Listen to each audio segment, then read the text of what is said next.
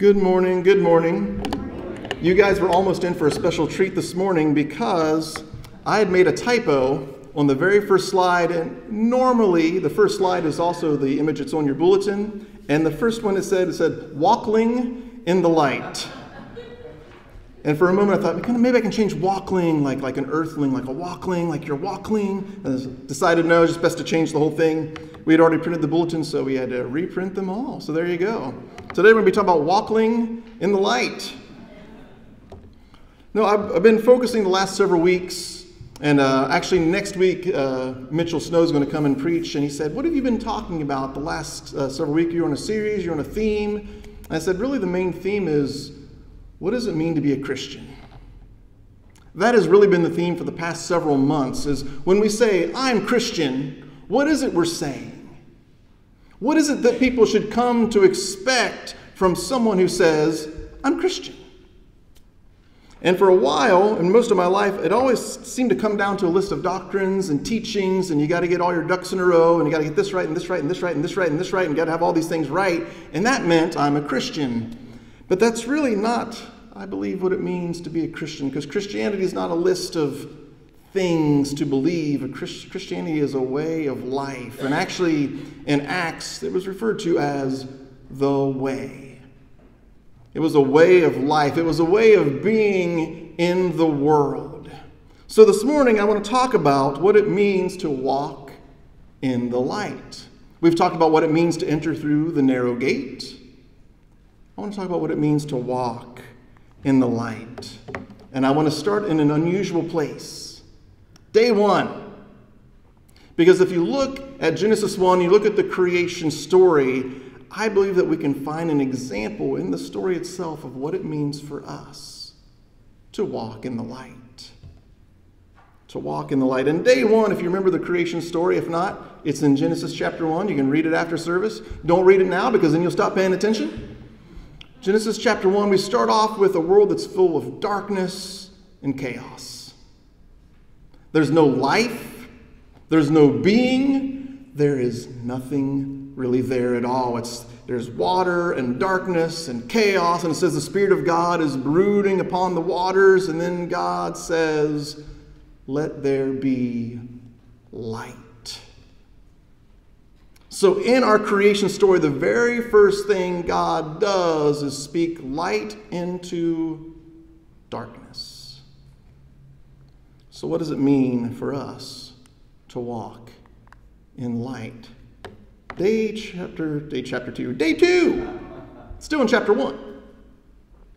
God puts a rakia in the sky. He puts this dome, this vaulted dome in the sky, and it separates the waters from the waters. Remember the very first day, there's just waters of chaos everywhere. And then God separates the waters from above from the waters beneath and creates some space. Because in order for you to have life and light and brightness, you need some space for things to live in.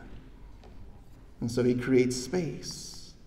And then in day three, he creates dry ground in that space. Again, so things can flourish and thrive and grow and come to life. Our creation story is all about life and light. Day four, he puts lights in the sky sun, moon, and stars. The brighter light to guide us by day, and the dimmer light to guide us by night. The stars are also there to indicate seasons and appointed times, is what Genesis 1 tells us again, it's all about light and life.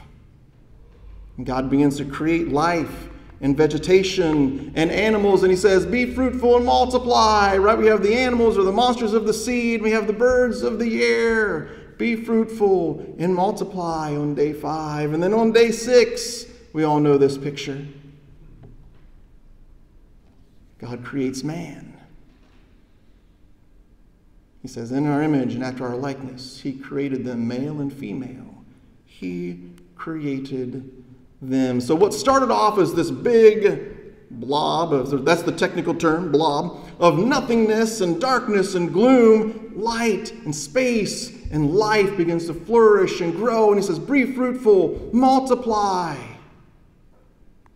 And then God does something that might surprise us God rests. So, one of the things I want to ask before we move on is Is God tired? Right? He's done, he's done all this work. It's actually one of the things that get Jesus in trouble in the Gospel of John, which we're not going to talk about this morning, but because Jesus says God is working and he continues to work, and people got upset and they said, No, God stopped working on day six. And Jesus says, No, he's still working, right? Is God tired? Does he rest on day seven because he's tired? What does it mean for God to rest? What does that even mean? God rests because his image is there. Now, think about this. So, God has been creating life and light and space for flourishing and abundance. Be fruitful, multiply. And then he puts his image there. The last thing he does in that story is he puts his image in his creation like a temple. So sometimes in the ancient world, people would build temples and they'd take an image of their God and they would stick it inside the temple. And that image was supposed to represent God and in some ways kind of like do the work of God. Kind of, sort of. Ancient idols were a hard thing to, to, to figure out exactly what they thought those things did. Our Bible tells us they did nothing but collect dust. But it's hard to figure out exactly what they did. God builds this temple. And he rests in his temple because he can take residence. So it's kind of like have you ever built a house? Have you ever moved into a house? All right. You don't really move in until everything's in place, right? You don't feel like you've really moved in, and sometimes you're actually sleeping there, but you still got stuff in boxes in the garage, and the bed's not set up, and the mattress on the floor, and you say, Are you moved in? And your friend's like, Hey, you finally moved in? You're like, Well, kinda, right? Sort of, kind of moved in, but got to put the bed together, I got to get the dishes put in place. You're like, I'm not really moved in. But once everything is set up, then you can move in. When God rests, He's moving in. He's taking residence. His work is done, but his image is there to continue the work he had started. You don't believe me, I can tell. Then God said, Let us make humans in our image, according to our likeness, and let them have dominion over the fish of the sea, and over the birds of the air, and over the cattle, and over all the wild animals of the earth, and over every creeping thing that creeps upon the earth. Sometimes people like to debate about what does it mean to be made in the image of God. I think Genesis tells us what this is supposed to mean. It means that all the stuff that God was in charge of, He put His image there and says, You're in charge of all this stuff I made now. This is you now. I can rest. You are here. Continue the work. Care for what I've created. It's all under your control, so to speak. It's all under your care. All of it's under your care. So God created humans in His image. In the image of God, He created them, male and female. He created them. Every single one of us is made in the image of God. There have been some crazy theories throughout church history where it said that women were not created in the image of God. They needed a man so that they could be the image of God. I think that's a silly doctrine. But we had it. And if you didn't believe that doctrine back in the day, you were a heretic.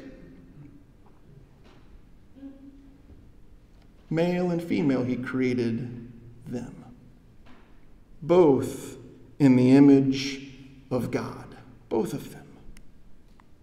God blessed them and said to them, Be fruitful and multiply and fill the earth and subdue it and have dominion over the fish of the sea and over the birds of the air and over every living thing that moves upon the earth. God saw everything that he had made, and indeed it was very good. So every other day, things were good.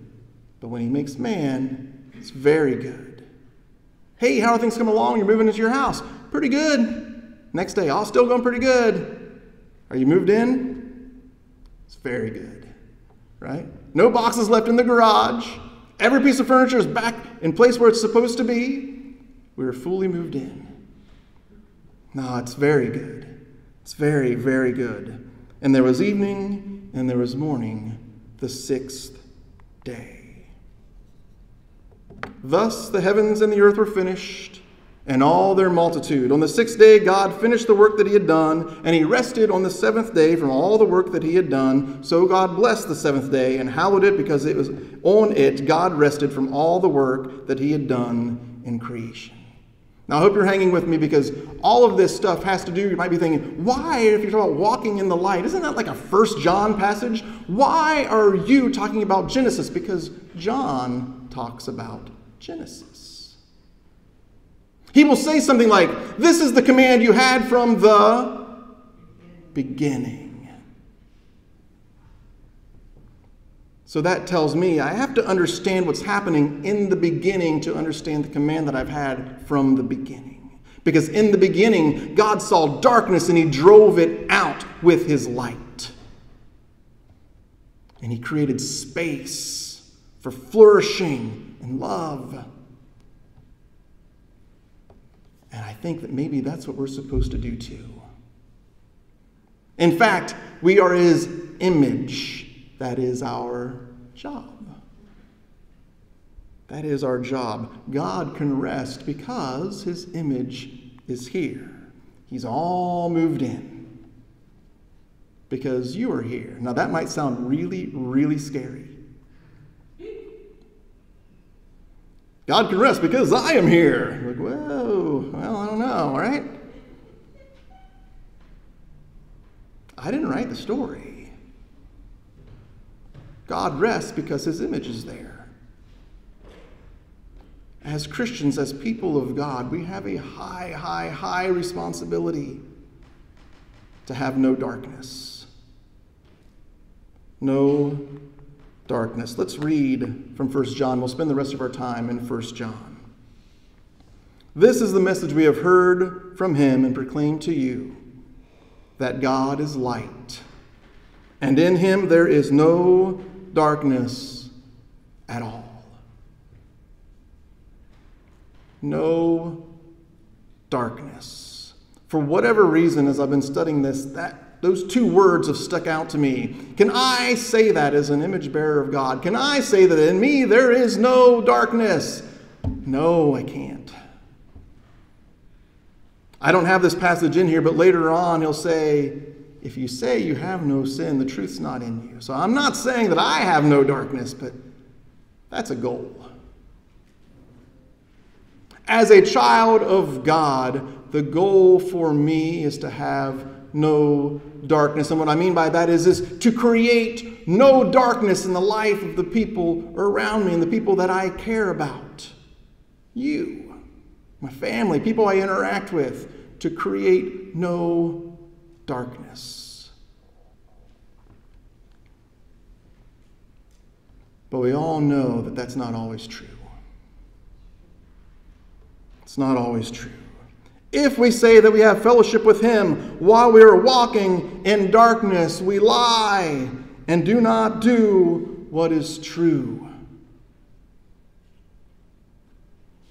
We lie and we don't do what is true. If we're like, oh, I'm walking in the light, but we're walking in darkness. What does it mean to walk in light? And what does it mean to walk in darkness? It sounds like I should really be focused on avoiding that latter part, right? Walking in darkness. I don't want to lie and not do what is true. I want to be about truth. I want to be about honesty. I want to be about life and light. Not walk in darkness. Beloved, I am writing you no new commandment but an old commandment that you have had from the beginning. The old commandment is the word that you have heard. Yet I am writing you a new commandment that is true in him and in you, because the darkness is passing away and the true light is already shining. Whoever says, I am in the light, while hating a brother or sister is still in the darkness. So remember the question what does it mean to walk in darkness?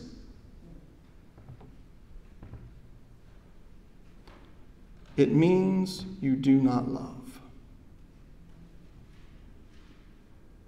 The core of Christianity, the core of who we are when we wake up in the morning and we say, either verbally or in our head, I am a Christian, I am a child of God. What it means is that I must wake up every single day and love my brother and my sister. I have to love the people around myself. And all around Jesus, people are always coming to him and saying, Well, what about this? And what about that? I want a loophole. I want a way out. Do I have to love that person? What if they're my enemy? What if they're a Roman? What if, what if, what if, what if? Who's my brother? Give me an escape route, please, Jesus. And Jesus says, There is no escape route. If you want to walk in light, if you want to enter through the narrow gate, then even your enemies will receive your love. Now, for those of you who've been here for a while, you know, like, man, he keeps saying the same thing over and over and over again. I can't help it. It's all over the place in Scripture. It is all over the place.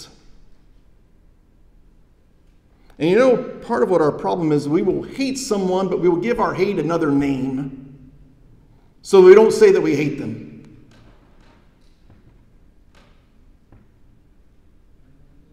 But in our heart of hearts, we wish them the worst.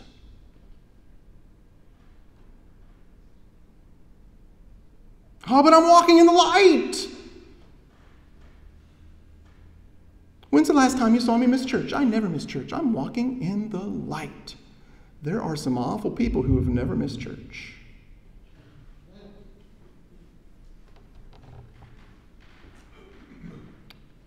Whoever loves.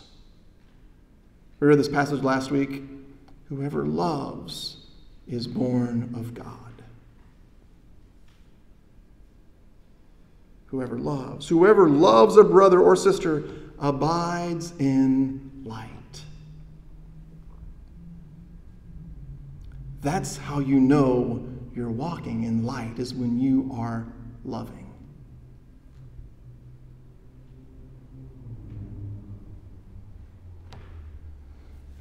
Sometimes we need to swallow our pride. No, not just sometimes, a lot.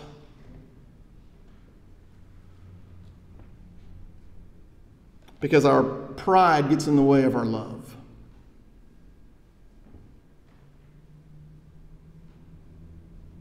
Now, look, if you're having some sort of struggle, I'm not saying stop coming to church until you get it all figured out. No, that's keep coming. But don't pretend you don't have a problem.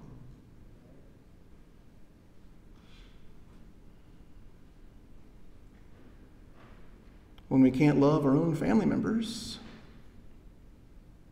Right? Our own flesh and our own blood, we don't talk to them. We don't know what's going on in their life, and we don't care. Because 25 years ago, they said something that hurt your feelings. I get it. They shouldn't have said it. You've done and said things you shouldn't have said or done either. And what do you want from people? What do you want from people when you've wronged them? You want them to forgive you. They didn't come out the right way. I was in a bad spot. I did the wrong thing. I'm so sorry. I didn't know it was going to hurt you. Or actually, I knew and I realized I'm just, I've got some darkness in me. I just, I want you to love me despite me.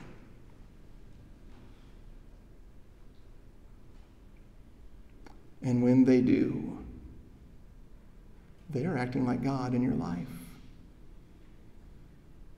I don't have this passage up here because it just came to me, but remember Jacob and Esau?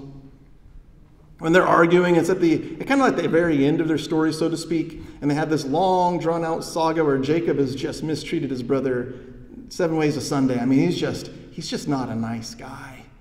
And Esau seems like he's kind of not all that intelligent when you read through the stories. Like he keeps tricking you over and over and over again. Right to the point where Jacob's name, he's the trickster.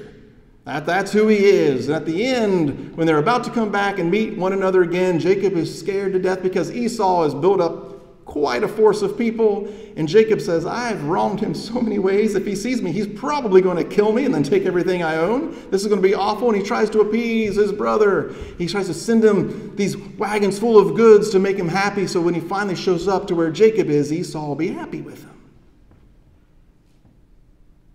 And Esau says, I don't, I don't need your stuff. God's been blessing my life.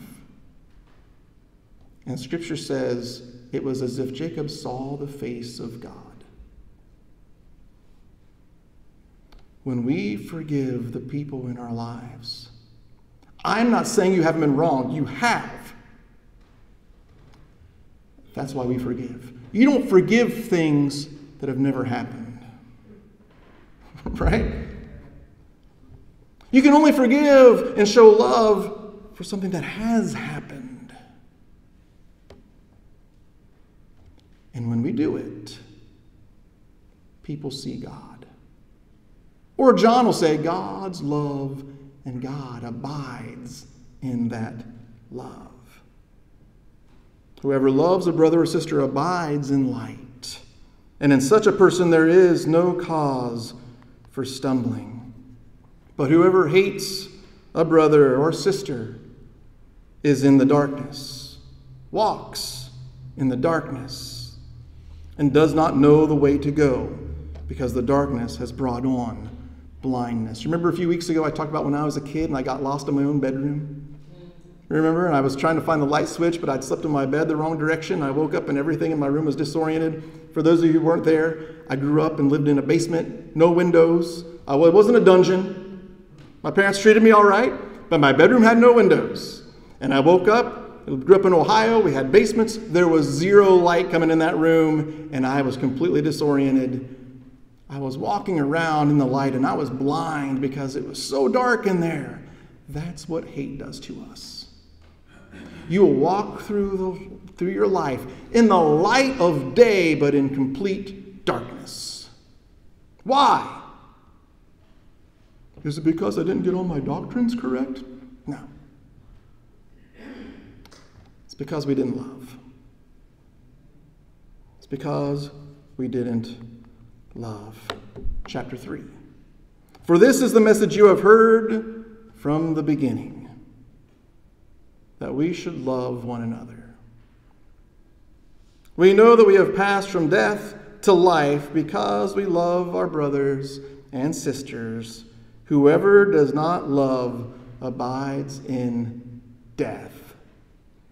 Sometimes it's easy to read those passages and just keep, keep on going.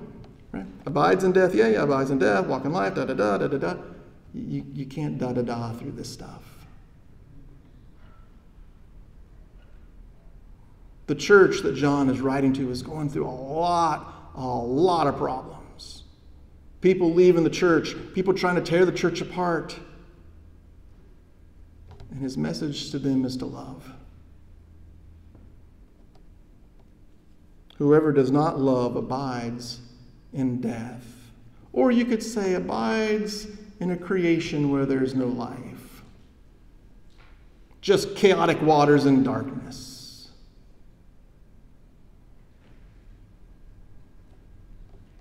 Whoever does not love abides in death. That doesn't sound like a pleasant place to live. Right? When I asked you, have you ever moved into a place? yeah, we've all moved into places. Was that place called death? It could be if it's not a place of love.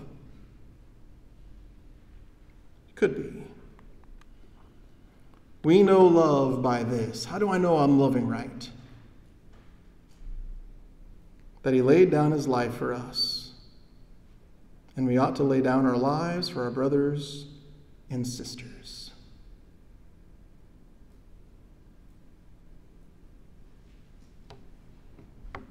You know, for all the fissures and fractures within Christianity, it's it seems like we never split over stuff like this. Am I loving enough? We'll split over carpet because the rich people got to pick the carpet for the church and the poor people didn't have a say, and we'll split. And there is concern there if that's how the church operates. But our primary concern should be do we love each other? Do we love each other? There are certain people who have impacted my life not by what they believe, but by what they did. You guys have heard me talk about this person before, but it's been a while, so just pretend it's a new story. When I was living in Peru and I had food poisoning and I was in the hospital, there was a guy. Now, for those of you who know me, you know I'm not the most conservatively minded person in the world. So, me and Hipólito, we had problems because he read scripture like a rule book and I didn't. So he had all these strict rules and guidelines, and, and I didn't have them, so we had some conflict there. And he was afraid I'd bring my way of thinking to his people. Legit fear. I get it. But man, when I was, in, when I was sick in the hospital, you know who the first person was that came to see me? Hipólito. There he was. Because he loved me. And I'll never forget that. His love for me was greater than our disagreement.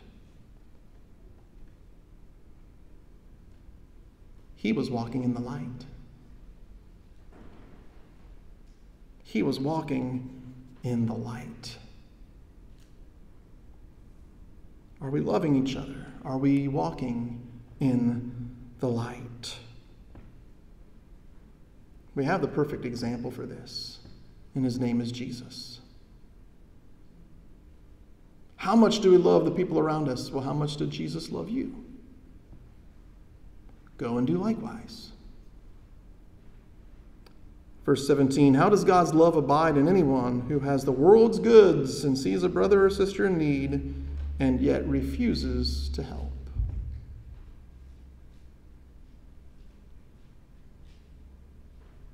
Refuses to help.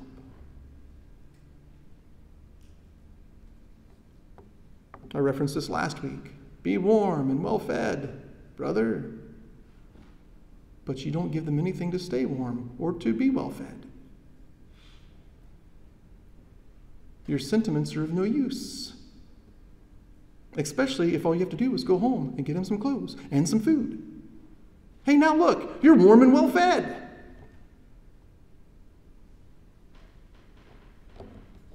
This is why we exist. This is why we're here. This is what it means to say, I am a Christian.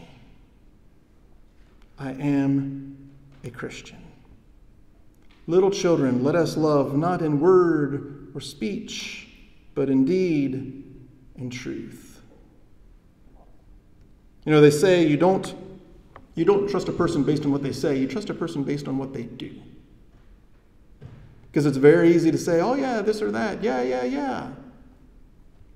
But will they actually do it? And so when we say, yeah, yeah, yeah, I love my family, I love my church, I love the people that I work with, I love. It has to be more than something you say. It has to be something that we do. Love is a verb. Love is just, it's not just a feeling that you get. If it were a feeling, I would only love sporadically and only certain people. If it was all just a feeling,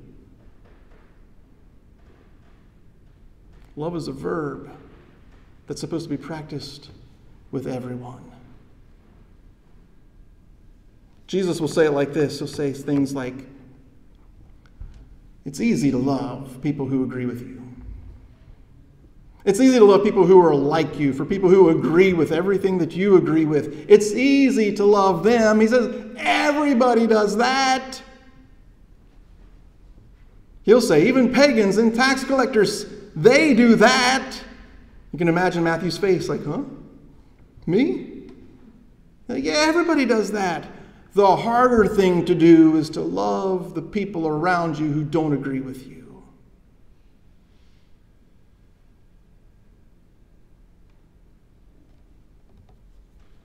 But that's how you know whether or not you're a follower of Jesus, whether you're doing it right.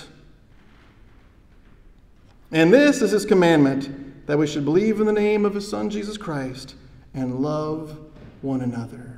Because if you say that you believe that Jesus Christ is your Lord and your Savior, all you need to do is look at a cross to figure out how you're supposed to live the rest of your life. You are not saved by good deeds, but you are saved for good deeds.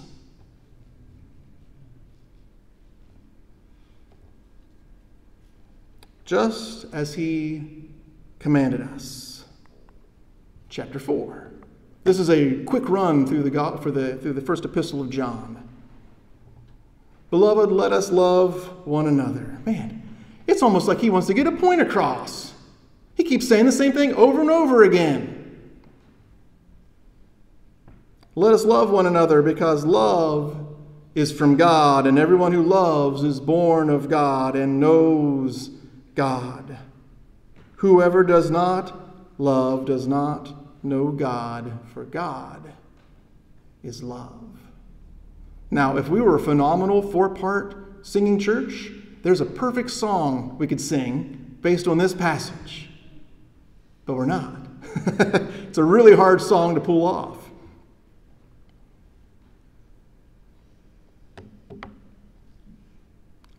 I don't want people, and I'm, I'm, just saying this as a person, not a preacher, I don't want people to look at Rob Coyle and think, yeah, he says he's a Christian. That's what the man says. I want them to look at how I live my life, how I treat you, how I treat them, how I treat my family, how I treat the people I disagree with. I want them to then look at my actions and say, he's a Christian. He's a Christian.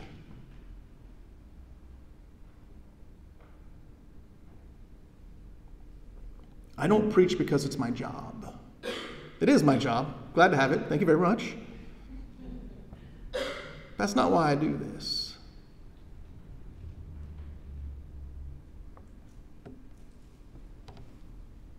I want to be a Christian, whether I work at a church or not. And I didn't always work at a church as a Christian.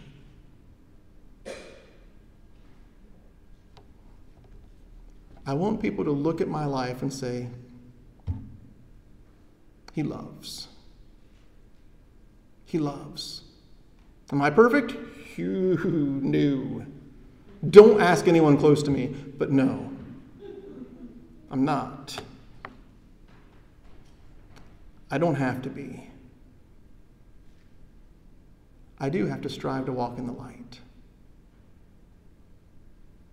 And when I fall short, God is good and just and faithful to forgive me my sins, just like John says. But my goal is always before me. My goal is always before me. We will always have disagreements with people in church, at a church. Always. There's always a different perspective. Sometimes three people come together and they have four perspectives.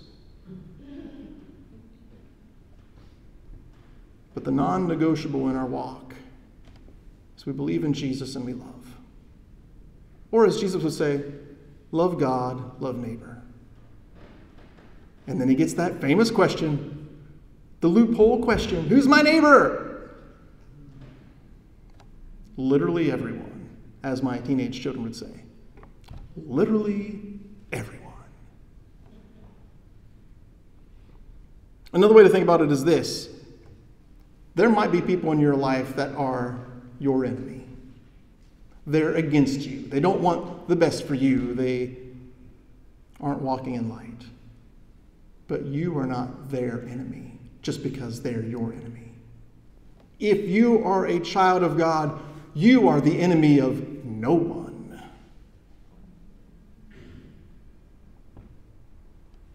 You love everyone.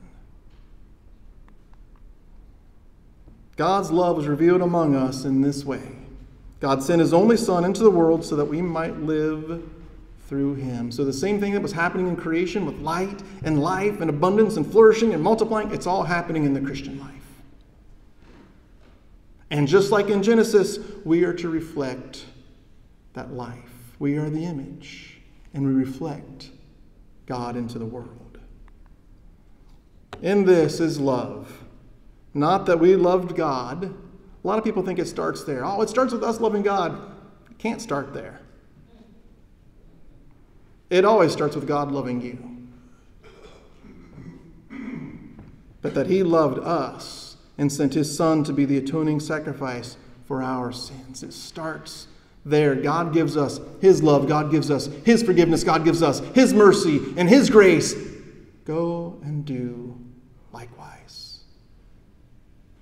Beloved, since God loved us so much, we also ought to love one another. Side thought it's hard to imagine what was going on in that church where you'd have to be this repetitive. Didn't he already say this? Yeah, he says it a lot through the first epistle. A lot. No one has ever seen God. If we love one another, God abides in us, and his love is perfected in us. Sometimes I think it'd be cool if you could see God, right? Have like your Moses moment on the mountain, he passes before you. Wow, this is amazing. John tells us how to do it. You want to have a cleft in the rock moment? Love the people around you because God's presence will be there. God will abide there. It's an interesting, interesting thought. If you want to see God, love. When Esau loved Jacob, Jacob said, I've seen the face of God. Love. Walk. Walkling in the light. Walk in the light. You're not going to do it perfectly. I don't. I don't. Nobody does, but we can help each other.